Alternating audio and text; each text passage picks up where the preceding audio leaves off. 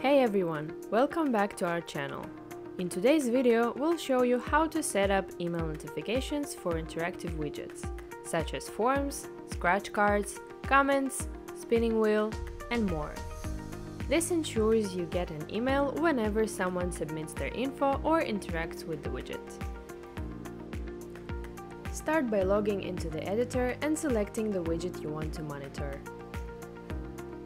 In the side panel, click on Notifications. Look for the option Notify me on new submissions and enable it. Next, enter your email in the Send Notification to field. Make sure it's correct, so all notifications go to your inbox.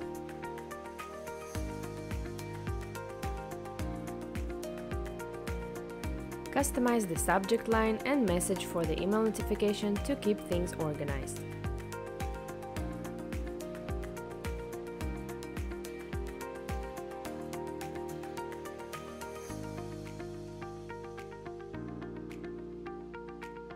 You can also choose to send a confirmation email to users who submit their info, enabling the Send Confirmation to User option.